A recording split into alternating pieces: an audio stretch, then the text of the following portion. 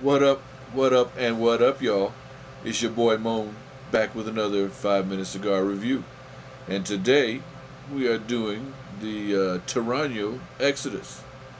Now, from my understanding, this is a revamp. Let me see if I can do it better this way. A revamp of the Toraño Exodus 1959. I don't know very much about that cigar, so I can't give you any history on it, other than this is supposedly a revamp of that. Before I forget, let me remind you to like and subscribe and share the videos. I uh, could really use all of your support. Just a young brother trying to make it. Actually, a middle-aged brother. I'm no, I'm no longer young. Haven't been young for a while. Anyway, so this is the uh, Exodus. Please forgive me, the Toraño Exodus. It had a nice oily wrapper, but I kind of let it sit for a second while I was getting ready for this. But it's still not a bad wrapper, and it's packed nice and tight.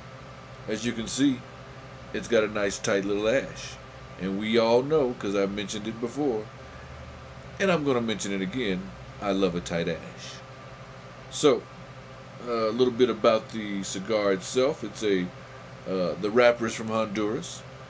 The binder, excuse me, the binder is a Connecticut broadleaf, and it's a mixed uh, filler with uh, Dominican Republic, Honduras, and uh, Mexico. It's got some Mexican tobacco in there. Not that wacky tobacco, but regular old tobacco. Anyway, let me stop being overly silly. It's a damn good cigar. Uh, I used to really like Toraño when I first started smoking cigars, probably shit somewhere between 15, 20 years ago. And I haven't had one for probably about 10 years. I kind of got out of them mainly because the cigar shop that I was going to stopped carrying them, and I just didn't feel like going elsewhere, elsewhere to get it. And I wasn't buying a lot of stuff offline at the time. So, picked this little baby up the other day let it sit in the humidor for about a week, and uh, now I'm smoking it, and I'm quite satisfied. It gets the head nod. It gets the head nod. That ash is still looking pretty good. It's got a fairly even burn. As you can see, there's a little canoeing there, and uh, I'm not 100% sure what caused that. If I haven't told you guys before, one of my solutions for that is I'll blow into the cigar and then I'll inhale, and it usually heats up that side that's canoeing, and uh, uh, makes it burn even. But sometimes, if I blow too hard, I'll blow that ash right off. So let's see.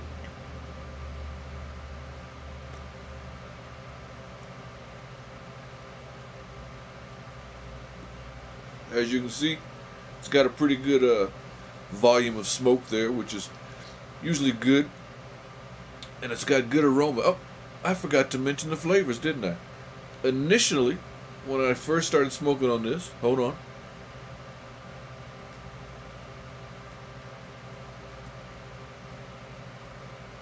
When I first started smoking on this, I could definitely taste a little bit of that earthiness and that leather. And it's got a very subtle uh, spiciness to it. Now, when I say spicy, I'm including all the spices. The red pepper, black pepper, white pepper, because as I've mentioned before, I can't tell the difference. It's just peppery. Maybe I'll start saying peppery instead of spicy. But it's definitely got that, but it's very subtle. It almost you almost don't even notice it until you've kind of toyed with that smoke in your mouth for a minute.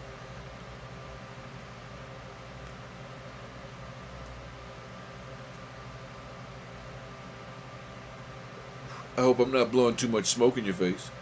Uh, but yeah, it's got that spiciness, that peppery um, but it just it kind of lingers there. It's not it doesn't hit you in the face. It just kind of lingers.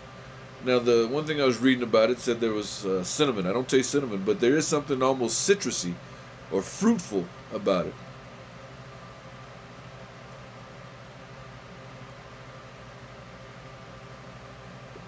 Yeah, it's not working today. I don't think it worked last time I tried to show you that. But anyway, something a little bit fruitful about it.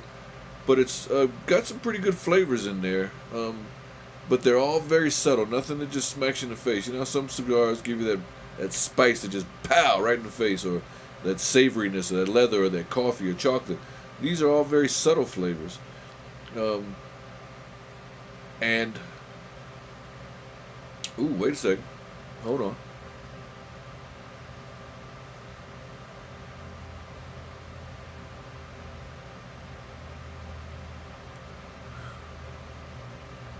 No, no.